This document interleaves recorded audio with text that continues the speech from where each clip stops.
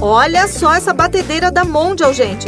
Ela é ideal para fazer suas receitas com muita praticidade e rapidez.